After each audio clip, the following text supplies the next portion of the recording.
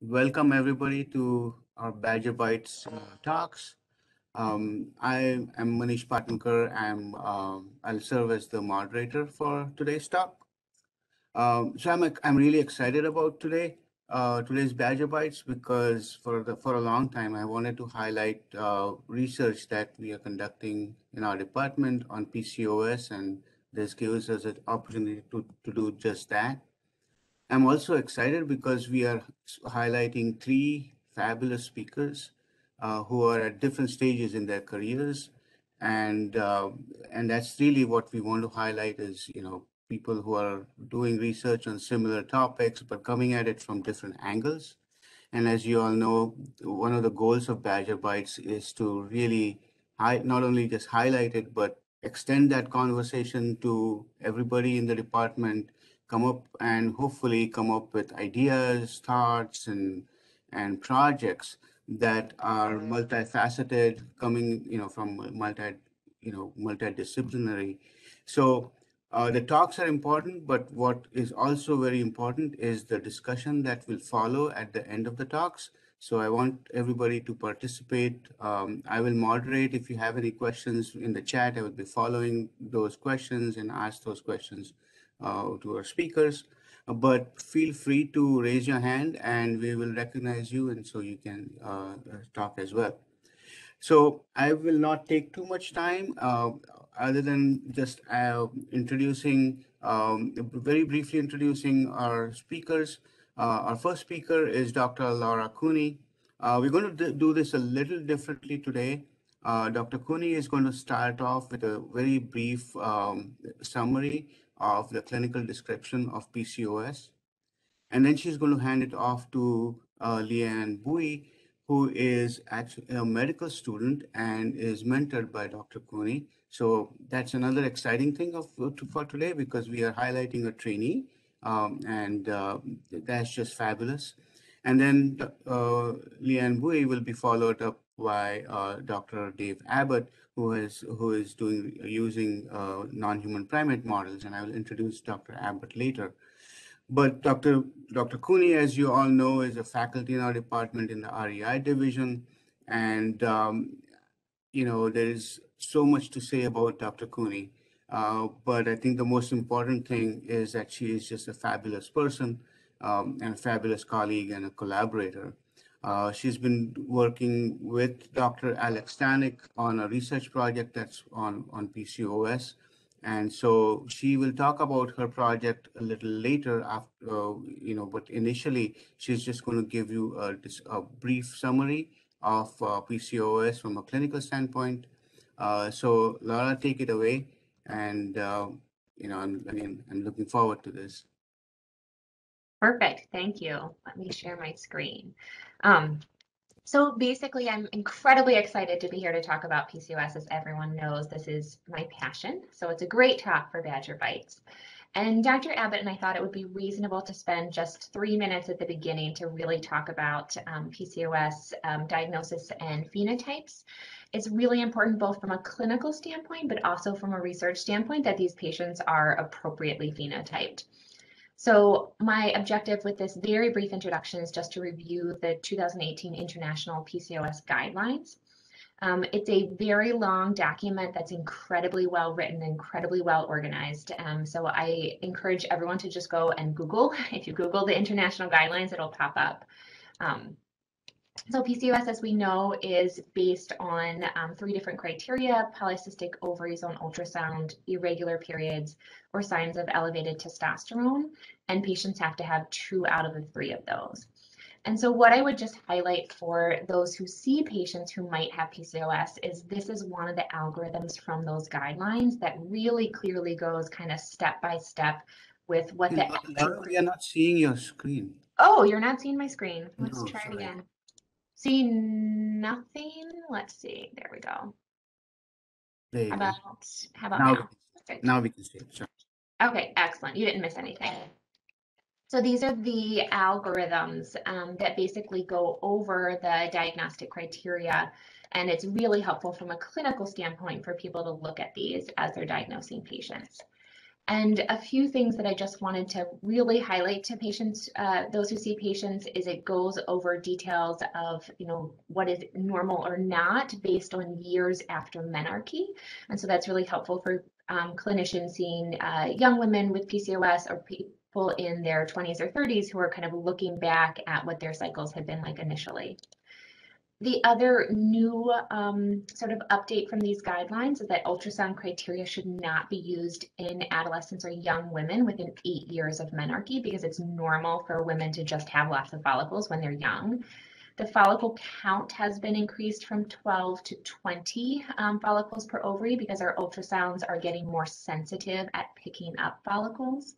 Um, most of the time we're doing transvaginal ultrasounds, but every now and then if someone has not been sexually active or doesn't tolerate transvaginal ultrasounds, an abdominal ultrasound is used. And in those situations, the criteria should really just be based on the volume of the ovaries. And although AMH is an encouraging and exciting biomarker for the number of antral follicles, it's not part currently of the diagnostic criteria. So my big plug to everybody is that all of the ultrasounds in our department really should include a follicle count. I get a lot of referrals for patients with PCOS and the ultrasound will say that the ovaries look like PCOS, but if there's not a video clip for me to count, if there's not a number, then it's really frustrating for patients to be told they have to repeat their ultrasound. So little plug. Um, and then again, the reason this matters so much for research is that there are multiple different phenotypes um, for women with PCOS. And as we start thinking about um, the implications of these phenotypes on both patient health and sort of characterizing some of the long-term complications, it's helpful for us as researchers to know, you know, which of these phenotypes a patient falls into. So I do end up um, getting, you know, labs and ultrasounds on all patients, even if I know they meet the criteria by other clinical means. Um, and a lot of that is for long-term counseling and again, um, for information for research. And these are the health risks of women with PCOS. So there's a lot of them um, for us to think about, a lot of options for research and for collaboration uh, with other departments. And again, a plug back to those guidelines is that they do really um, do a great job of talking about management of PCOS for non-fertility indications, um, treatment of fertility, and everything else that you might need. So that uh, is just a little bit of an intro to get people excited. Um, and now I just wanted to introduce someone who is very special to me. So uh, Dr. Leeann Bui is our first speaker. She is a fourth year medical student at UW. She completed her undergraduate degree at UC Berkeley before she traveled to sunny Madison, Wisconsin to join us. Um, she first started working with me as a Shapiro student, her first year of medical school, where she earned her path of distinction in research. She's incredibly hardworking and motivated and has continued to do research with me and has had multiple poster presentations and manuscripts. She's applying to OBGYN residency right now, um, and as you will see, wherever she goes, we'll be incredibly lucky to have her. So take it away, Leeann. Thank you, Dr. Cooney, for the kind, kind introduction. Oh, I turned off my video. I'm back on. Okay. Um, so I'm very honored to be here today. Thank you so much for the opportunity. Um, as Dr. Cooney mentioned, I'm um, one of her uh, proteges, I guess, and I will be um, talking about my presentation, utilizing the Pregnancy Risk Assessment Monitoring System, PRAMS, to evaluate pregnancy outcomes in women with PCOS. The learning objectives for today is to describe the use of a national database to evaluate odds of breastfeeding initiation in women with PCOS. I do not have any disclosures. So PRAMS, or the Pregnancy Risk Assessment Monitoring System, this is a national questionnaire from the CDC sent to postpartum mothers two to nine months after delivery. It collects state-specific, population-based data on maternal attitudes and experiences before, during, and shortly after pregnancy. It um, encompasses about 83% of all US births, and the data on PCOS that we were able to collect was available from Washington, DC, and 13 states. We also apply uh, sampling weights to adjust for non-response to produce population-based estimates. So this is a little figure that I created um, to show how the data was collected in a standardized manner um, by the CDC. So each state samples approximately 1,300 to 3,400 women per year. Um, and from that sample, they are con contacted by mail and then they're repeatedly um, contacted by mail. And if they don't have any response, then um, they give them a ring by telephone. So the PRAMS questionnaire that I sent to these mothers are divided into two sections. The first section is the core questionnaire, and that is sent to all mothers. And these are um, the questions that are like attitudes and feelings about most recent pregnancy and so forth. Um, the second subsection is called standard questions. So these are questions that are chosen from a pre-tested list of standard questions by the CDC or each site develops their own questions. So each PRAMS questionnaire is unique. Um, we based our analysis on the phase eight core PRAMS file that was collected in 2018 because that was the first year that they assessed PCOS status. So um, there are a number of projects that Dr. Cooney has looked on uh, for PRAMS and PCOS, and I'm honored to be on a, a, collaborator on some of these. She has looked at postpartum depression, um, excessive weight gain, um, obstetric outcomes and race and ethnicity, and lastly, breastfeeding. So um, the breastfeeding and PCOS is what I'll be talking about today.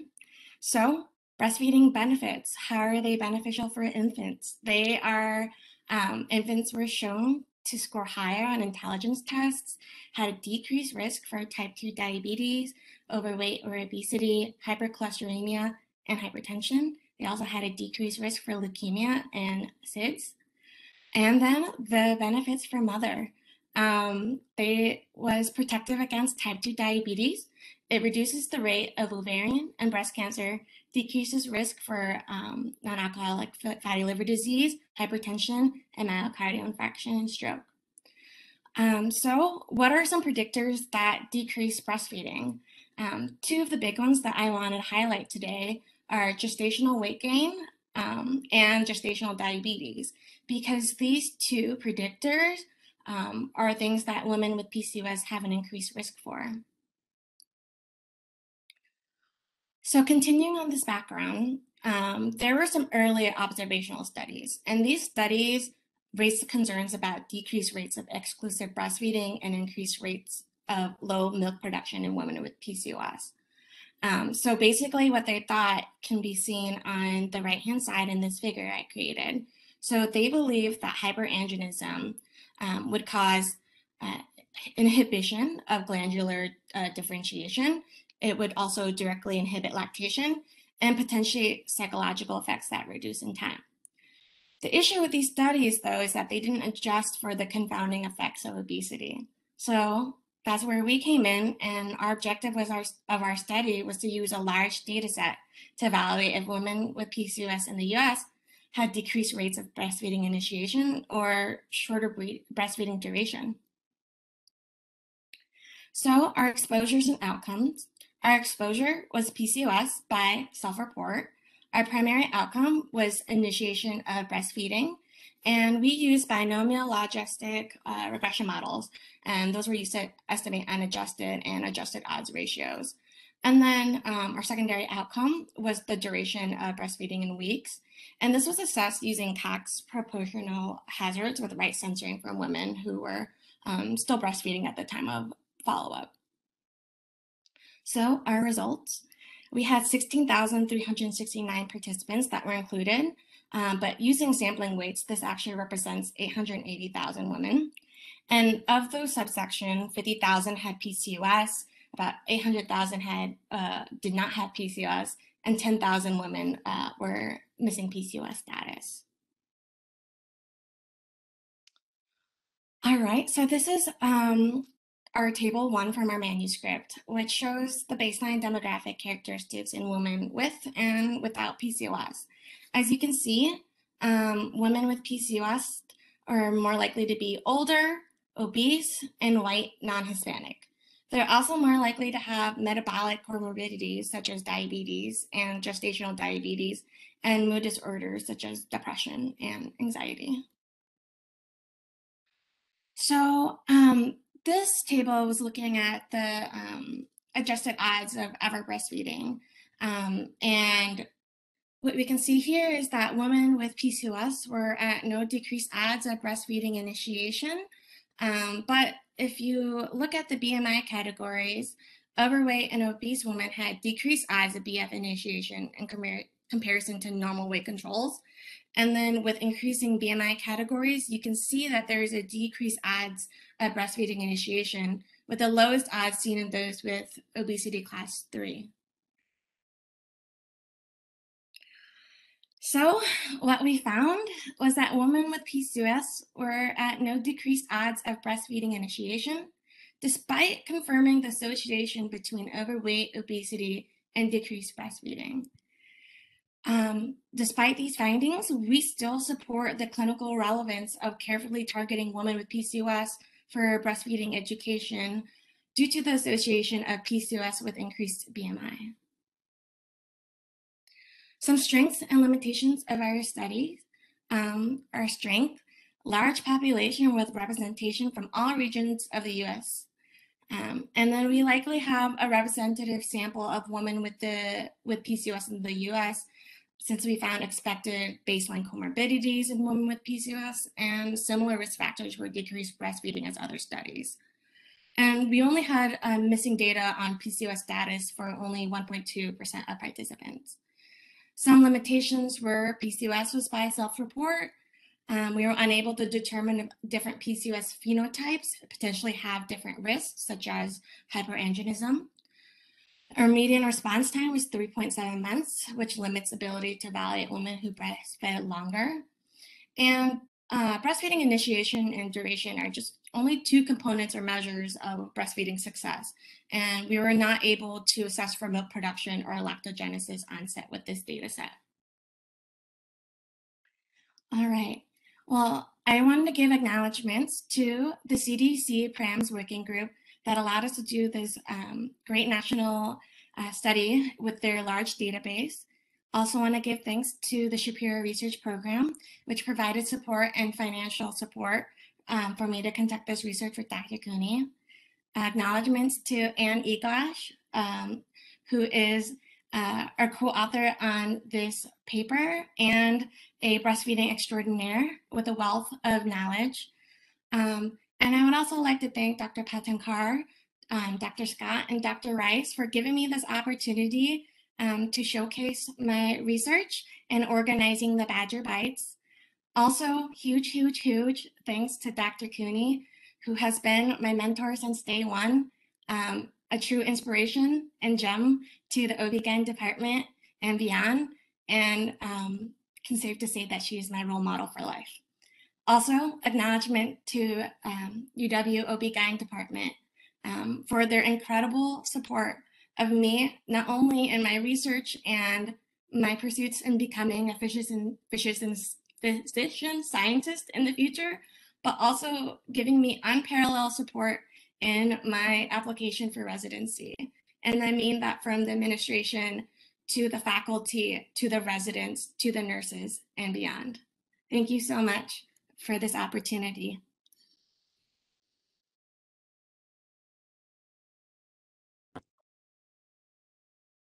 Thank you, Leeann. Um, so Laura, uh, Dr. Cooney, would you start your talk um, Yes. on your research? Can you see my screen and And hear as, me? as, as she's pre- putting up the slide, so we'll reserve our questions to the very end uh, after Dr. Abbott's talk. Thanks. Okay. You can see my screen, correct? Before I get too far into this. Yes, we can see. Okay, perfect. So I'm super excited to talk about some research that we're doing, um, and I'd like to just acknowledge my collaborator, Dr. Stanek. So if PCOS is my passion, obviously immunology is his passion. So this has been an incredibly fun um, collaboration and marriage of our two interests. Okay, So my objectives are to compare the immunome signature of women with PCOS undergoing infertility treatment to non-PCOS control women, and to describe how these immune predictors could be used to predict pregnancy outcomes and complications. I have no disclosures. So when I see patients with PCOS, after I discuss their diagnosis um, and the reasons for their diagnosis, as I said in the first uh, part of the talk, one of the next questions they have is where does PCOS come from? And it's clearly very multifactorial. There's likely some type of um, genetic predisposition kind of combined with some, um, you know, second hit in terms of lifestyle. But what we do know is that women with PCOS are at increased risk for both obesity and insulin resistance. And then interestingly, inflammation underlies all three of these conditions. There have been variants in genes encoding several pro-inflammatory cytokines and their receptors that are associated with insulin resistance, obesity, and diabetes that have been also found to be associated with uh, PCOS. And in studies looking at follicular fluid of women with PCOS, we've also found elevated levels of different cytokines. The main limitations of those prior studies is that they've looked either at only one or a small number of cytokines, um, and none of them have really looked at lymphocytic composition. So really to understand the systemic inflammatory programming and how it's connected to PCOS, we need a broad baseline of immune measures. So these are our aims, again, to compare the immune signature of women with PCOS to controls and determine whether this can be used to um, predict clinical pregnancy rates or other complications. So this is a current prospective study that we're doing at Generations Now. We're including women 18 to 44 who are planning IVF.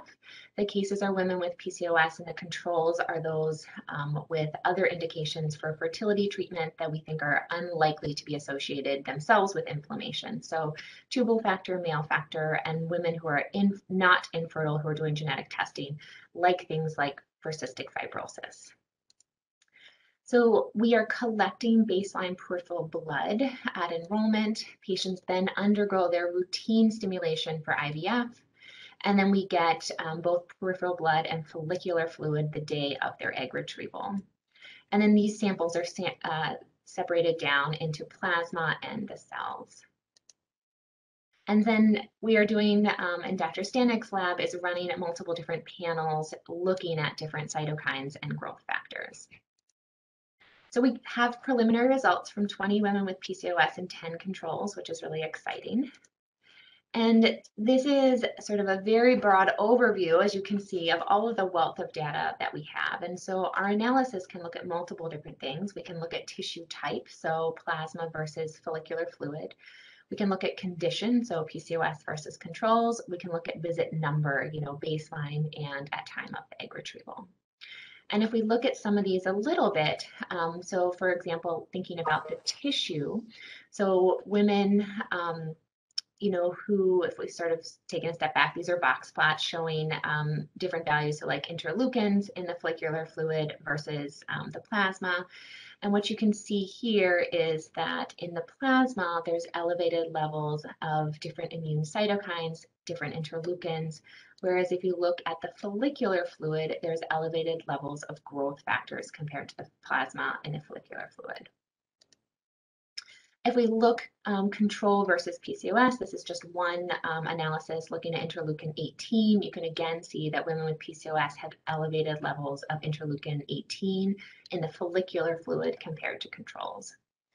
When we look at all of these different um, sort of cytokines, we found that interleukin 18 and VEGF are elevated in women with PCOS, particularly in the follicular fluid. There's trends towards elevation of interleukin 6 and EGF in the plasma of women with PCOS, and then decreased levels of other factors in the plasma of women with PCOS compared to controls. Now, clearly, you know, big asterisks is that this is just preliminary data based on 10 controls and 20 PCOS patients, um, but it's great um, for us to start thinking about what the differences are and what it kind of means in terms of the pathophysiology of PCOS. And one of the really sort of interesting questions that's come out of this as well that I just wanted to take a minute to mention is we were looking at whether or not heat map visualization methods and hierarchical clustering could reveal patients with unusual phenotypes. So this is a heat map, and to just explain it a second, we have in the rows each individual patient. Um, and so you can see we have the controls and PCOS separated, and then the columns are each of the different cytokines. So what each box is, is controlling that, is comparing that patient's value to the mean of the group. And so if the value is close to the mean, it's going to come up as gray. If it's one or two standard deviations above the mean, it's going to come up as red. And if it's one or two standard deviations below the mean, it'll come up as blue. And what's interesting is to look at this patient here who has unusually high cytokine levels um, at visit one, even prior to IVF. But interestingly, this patient does not have elevated growth factors, as you can see here. And so, of course, the first question is, is this something that, you know, holds true, this pattern holds true for this patient across visits, or was it just a fluke? And so here you can see, again, looking at visit two, we see the same sort of hyperinflammatory pattern um, in red and the underexpression of some growth factors in blue. And then when we look at the ovarian follicle, we can see the same thing um, for this patient.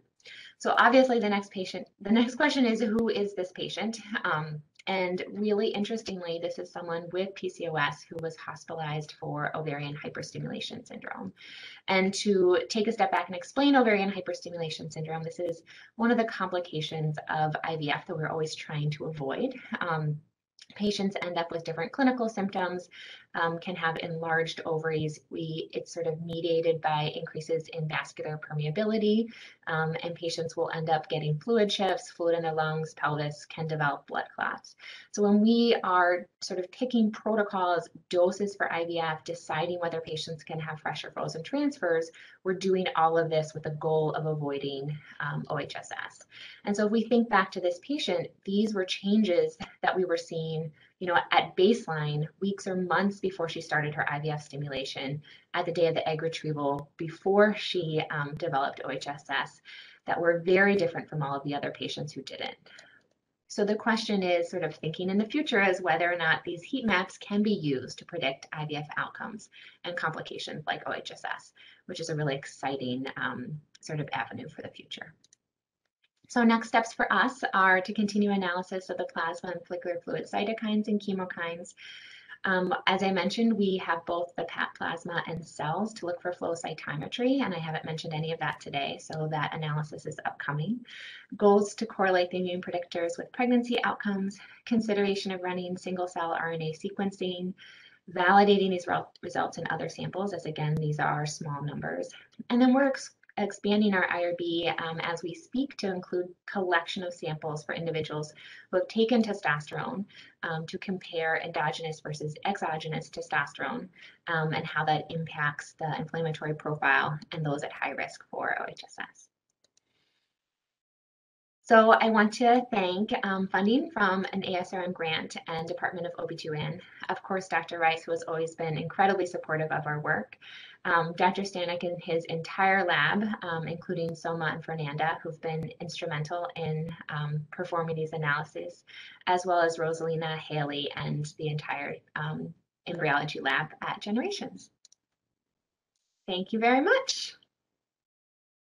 Thank you, Dr. Cooney. It was, again, a fabulous talk.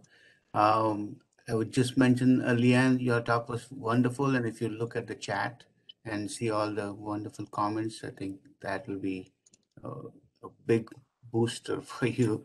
So I, I encourage you to look at the, uh, the, cha uh, the chat.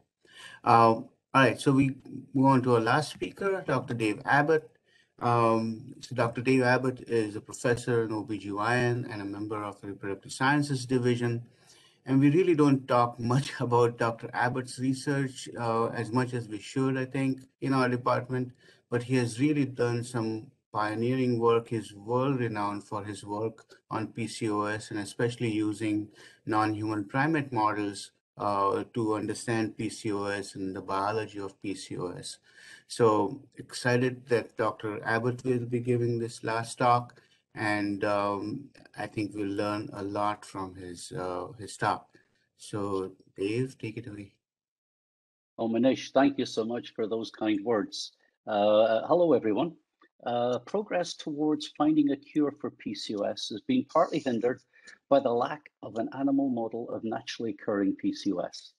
So in this talk, uh, I'm going to present our initial findings, identifying and characterizing naturally occurring hyperandrogenism or high testosterone levels in female rhesus macaques and whether uh, PCOS-like traits accompany those, those high testosterone levels and whether indeed there may be variants in selected PCOS candidate genes that are also found with these females.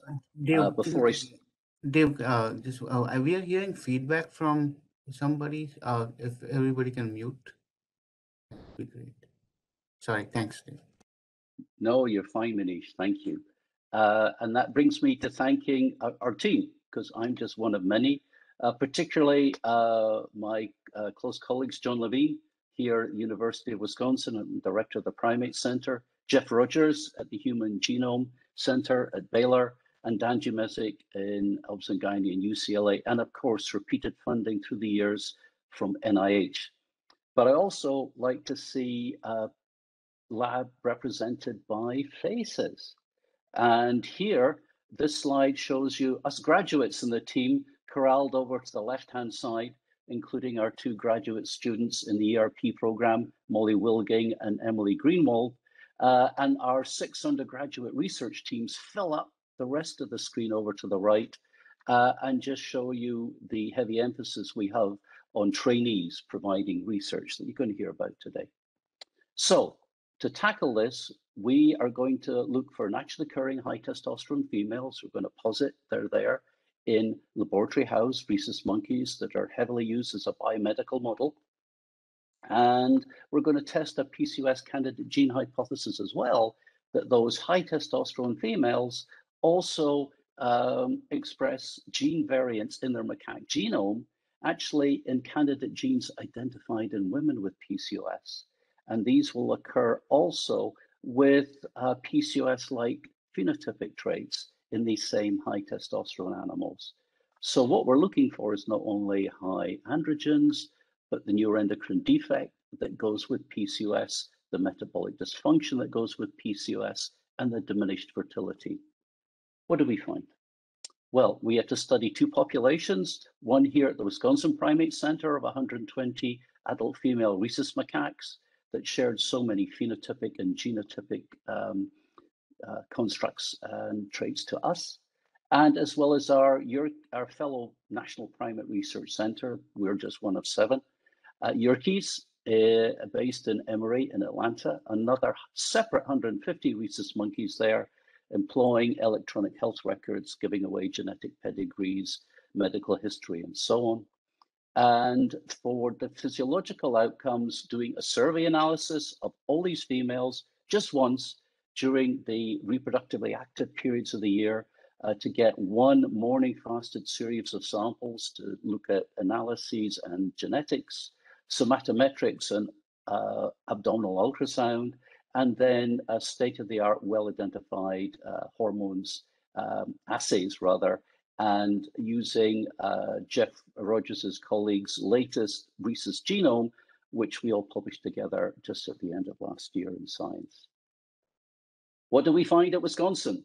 We found a nice uh, spectrum of testosterone uh, in our adult female rhesus we studied, and these are 80 of the 120 that were in the follicular phase or, or an anovulatory period.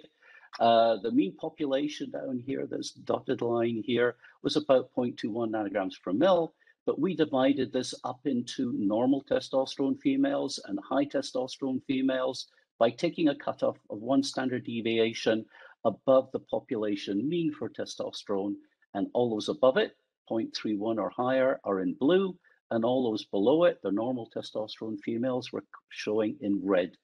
We're also showing here uh, the two standard deviation cutoff values. There are values up there too. And why am I emphasizing those? Because we're going to come back to them, because they're also almost identical to those used um, to identify a uh, diagnostic criterion for high testosterone that you need to pass clinical review in certain peer-reviewed journals. Could we repeat this in our Yerkes Primate Center animals? The answer was pretty much exactly. Uh, using their population's values, we almost got exactly the same cutoffs and the same sort of distribution as we did in Wisconsin. So this is a reliable uh, spectrum we're finding. And it is so similar on the far left here to human study, but this time looking at non-PCOS women, they're normal, healthy in the early follicular phase, and those investigators divvied up testosterone into quartiles. So Q4 is the highest quartile level, and we're showing it in blue, and the others were equating to our normal testosterone in red because they were their testosterone was determined by mass spec, as were ours. So it's not an immunoassay difference. And you'll see the mean values of testosterone in the human study for high testosterone are just like the monkeys. We're talking actually apples and apples right across these species. They're that similar, and their testosterone ranges are that similar. Okay, having done that, uh, so what else? Having identified high T females in blue here in the two primate centers, uh, they were all uh, just like the normal T females, prime uh, reproductive ages, uh, average body weights for rhesus macaques, average fatness. And if we look on the far right here, you'll see this human study that was done as well. Uh, there in the, the, the, lowest quartile and the highest quartile, and the ones in between too. again, prime reproductive years in women, uh, average BMI here uh, we're looking at, and the, the high T values are similar. So what accompanied those high T values if it's not obesity and a difference in age? And the answer is here going back to our testosterone plots. And now we're focusing on, on the monkeys just in those high two standard deviation values, because those are exactly equivalent to those in women with PCOS.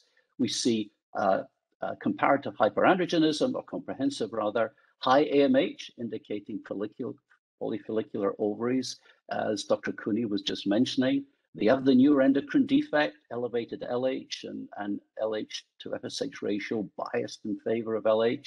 They have subfertility, they have insulin resistance, and they have endometrial um, increased thickness quite a comprehensive PCOS-like traits identified in these highest of the testosterone level female monkeys.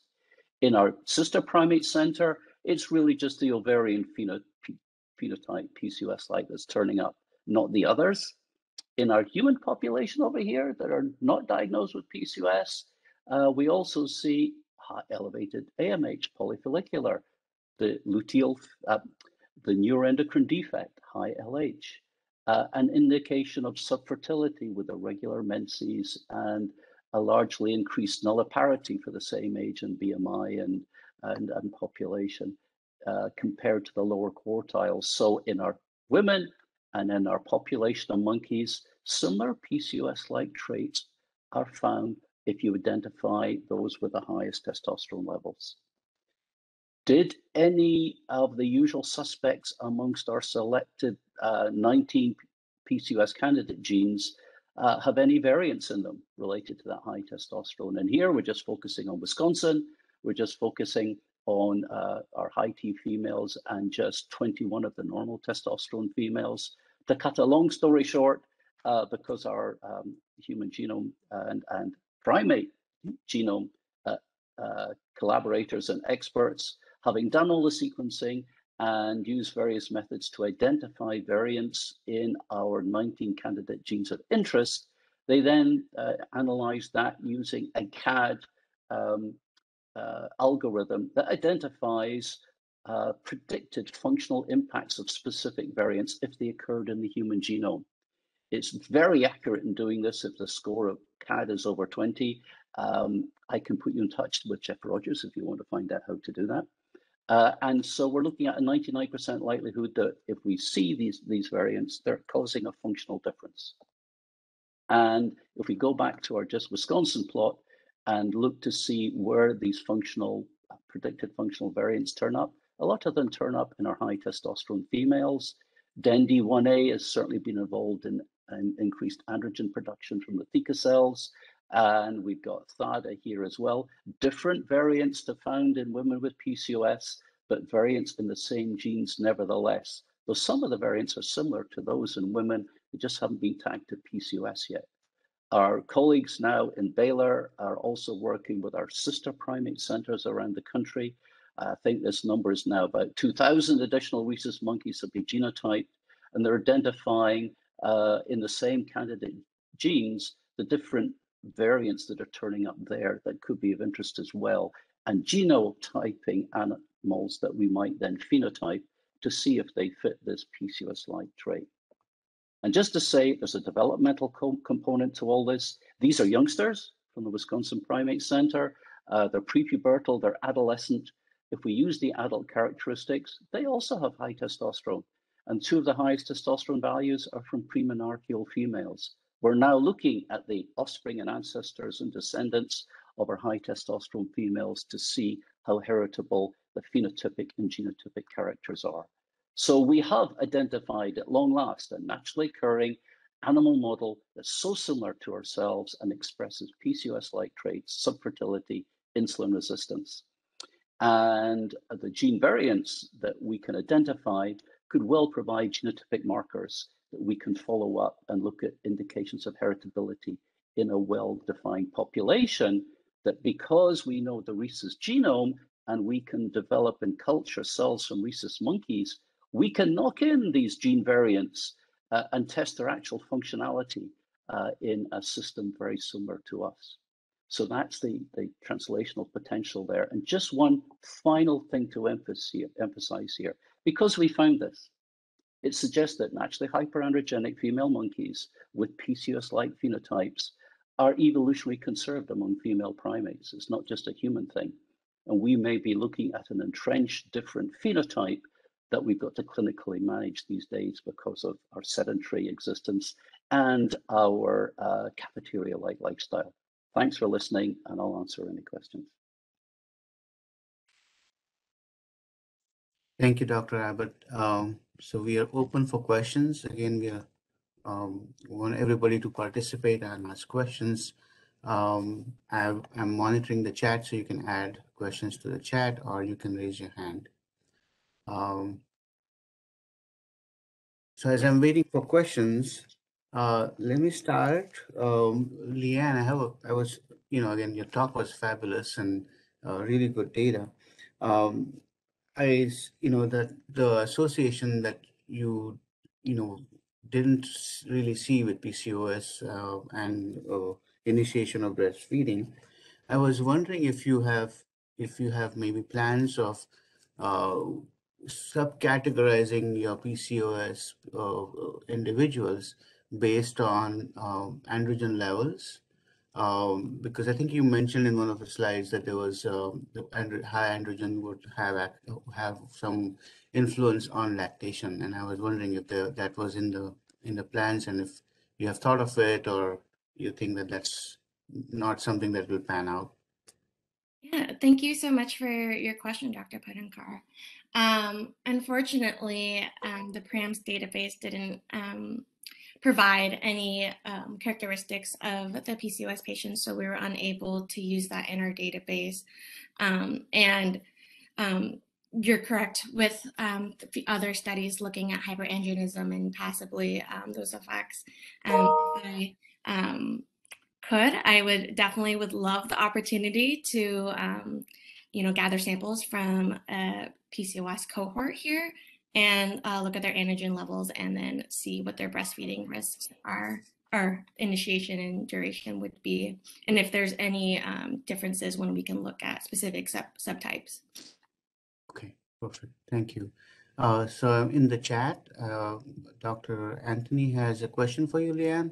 Uh, why do you think postpartum people with obesity would have less lactation success if it isn't PCOS?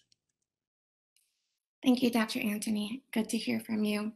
Um, the reason would be kind of threefold. So with progesterone um, and obesity having increased levels um, in, with obese uh, mothers that could um, delay lactogenesis too and the onset of um, milk production.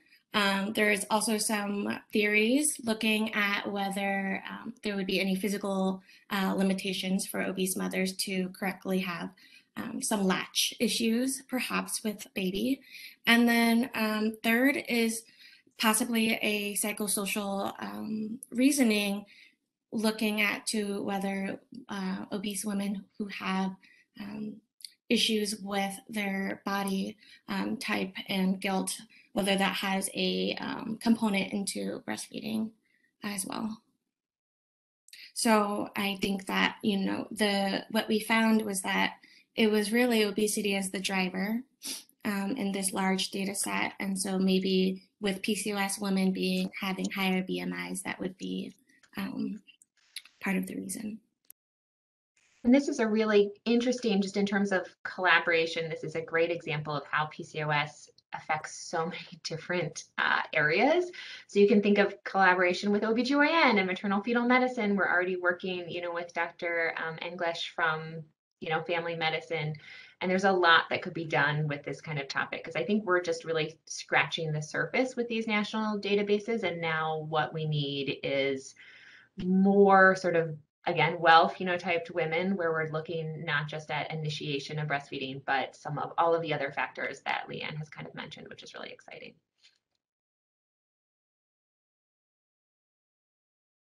That was, think- that was Oh, good. sorry. Go ahead, just- go ahead, Ian. Um, I think like a great way to expand on this and maybe future research um, actually is that the breastfeeding um, journal actually just published a paper looking at um, breast hypoplasia in women with obesity and uh, women with PCOS. Um, there has been some reports that they might have um, some breast hypoplasia as well, and we're not sure whether that is a um, result of PCOS or rather um, they they having them having uh, increased BMIs. Um, so you know, if I have the opportunity in the future, I would love to do a study where you know we could have a cohort of patients and we could um, have a, a Dr. Eglash or a breastfeeding expert to look at uh, women with their breasts and seeing whether there is a uh, correlation with decreased breastfeeding in the future. Um, but who knows what will happen in the future. I was also wondering, uh, Dave, um, you know, in your uh, rhesus monkey model with the high T uh, females, uh, if there would be a way, and this is this would be the, like a collaborative study with Leeann and uh, Dr. Cooney, whether you would be able to monitor breastfeeding or even milk production in that group of high T females in the future. Very interesting question, Manish. Very much so. Uh, that well, the answer is yes, yes, and yes. Um, that certainly can be done. Uh, in if you look at the, all of the high T females, not just the ones equivalent to PCOS, um, uh, quite a few of them are quite fertile and have raised kids, and some haven't.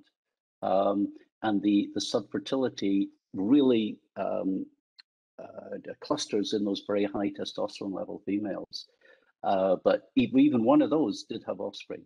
So I, I know plenty of normalities. So yes, Manish, absolutely tick all those boxes. Go go and get some pilot funding, and if you don't mind, um, uh, primates with tails, and they're all hirsute, so uh, you have to put up with that. Uh, they're they're an exciting bunch to work with. Mm-hmm. That's good. All right, any, I'm not seeing hands raised, but if I've missed anything, let me know. Uh, so, Dr. Cooney, uh, I think the, you know, the, your profiling of cytokines is exciting. Um, and I know the numbers are less, but um, I have two questions. One was in the control group. Um, are you, uh, is the control group uh, high BMI uh, individuals without PCOS? Because BMI, increased BMI obesity would by itself increase cytokine levels. So that was one part. And then is your eventual goal, you know, to see if these differences, especially that one patient that you mentioned with low EGF, but high cytokines, I think.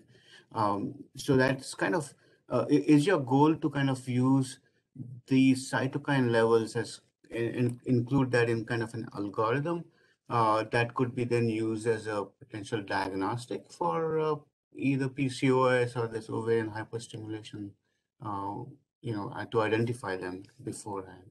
Yeah, fantastic question. So we are not matching patients on BMI. We absolutely have a whole lot of like variables that we have to look at and stratify and control. So, you know, we have BMI, we have age, um, we have other sort of health um, conditions and things like that, that as we start kind of analyzing these more, um, Alex and I have been discussing sort of how we want to um, control for that versus again stratify and make sure that we account for the BMI.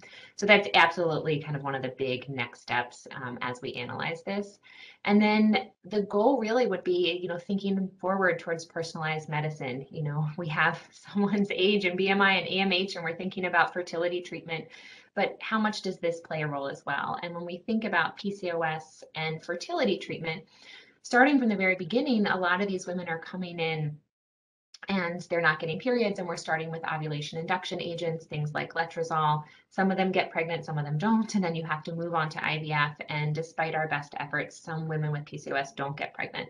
And so i think it would be incredible to see if we can use some of these immuno immune factors to predict you know response to not just ivf but some of the earlier stuff letrozole who needs to be fast tracked to ivf um, the patient who developed ovarian hyperstimulation syndrome had a fresh transfer and got pregnant, um, but that makes OHSS symptoms worse. So is this something that someone we should have sort of changed our um, protocol on, recommended a frozen transfer, anything like that?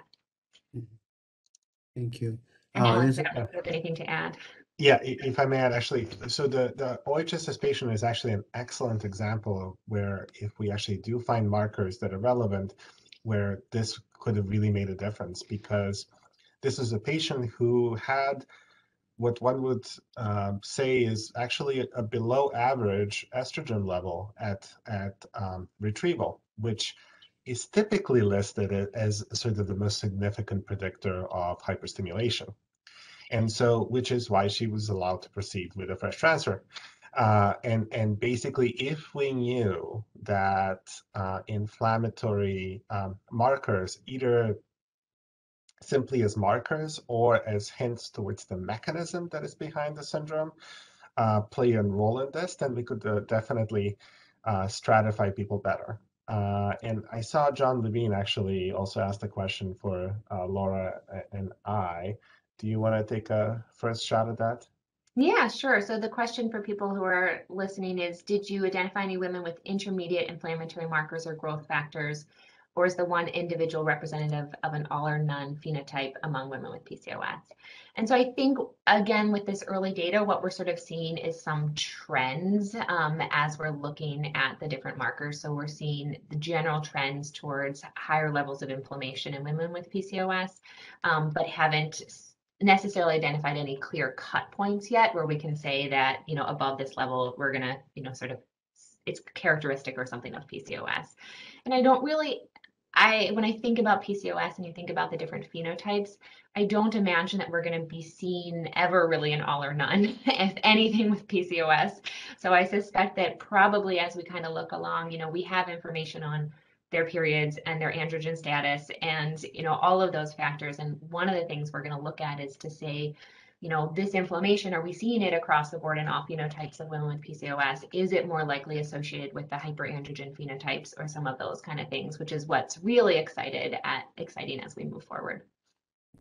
And, and I'll add to that also that when you actually look at the, the primary data, uh, you know, there was there were a few things that popped up as statistically significant in this very small sample of folks. But there were multiple cytokines that showed definite trends either up or down in PCOS. And so um, there's, I think, two aspects to this. This is one of the reasons why uh, adding in something like hierarchical clustering actually may uh, may uh, give us more power to distinguish folks uh, that actually have um, a, a, you know basically a PCOS phenotype or or essentially a trend towards behaving like a PCOS patient, right? Uh, the other aspect to that is clearly we'd love to have a multi-center study uh, because to actually try to distinguish which factors are collinear and, and, and which fact so, so which factors don't really matter as long as you have one of them you have data essentially on all and, and which factors that would actually be useful um, in what what Manish and Laura uh, alluded to as essentially a predictive score that would be fantastic. But but we definitely need lots of samples to do that, and certainly we're correcting some here. And I think we're going to be leveraging certainly Laura's uh, really fantastic national network of, of folks who are interested in PCS to, to, to, to get at that. Yeah, no, this this is the start. Uh, what you're doing. Uh, I have one question from Dr. Gaston. Uh, and Dr. Gaston, I'm not sure if you are directing this to anyone in particular. But the question is, are you seeing any phenotypes with bothersome scalp hair loss? And I guess Yeah, it could for both actually, even in the even in the rhesus monkey. Uh, Yeah. they're hairy, but they're losing some of it. Um, I, it's a great question. Um, from a clinical standpoint, it is 100% one of the things that we capture on all of our women with PCOS. And I would say it's surprisingly common. Um, I don't have exact numbers, but probably somewhere in the order of 10% or so of women with PCOS probably have some degree of hair loss. Um, and it is incredibly bothersome to them. So from a clinical standpoint, it's something I can share with you at some point. There's a sort of range of labs that I check and treatment that I offer patients. It's in really hard to get patients in with dermatology. It takes a year. So I've kind of come up with a panel of testing and treatment from derm. Um, it's not something that we've sort of stratified to look at in kind of any of our uh, analysis, but we have the data on hair loss, acne, hirsutism, and all of those kind of details. Right, thank you. Uh, I think we want to, let's do, uh, that will be, I don't see any more questions coming in. Uh, I know we want to end these meetings a little before time, uh, just to give people um, some time to get ready for their next work. Um, so let's end there. Again, thank you, all three of you, for uh, your talks and for the wonderful discussion. I think what we will do is uh, copy the comments in the chat and then share those with you so you have them. Uh, and again, if anybody wants to follow up with our speakers or um, or Dr. with, with Dr. Stanek, uh, please do because that's really the goal of these Biobyte talks. We want to increase collaboration, co- increase discussion on different research topics. So thank you everybody for attending and thank you to the speakers and have a great day.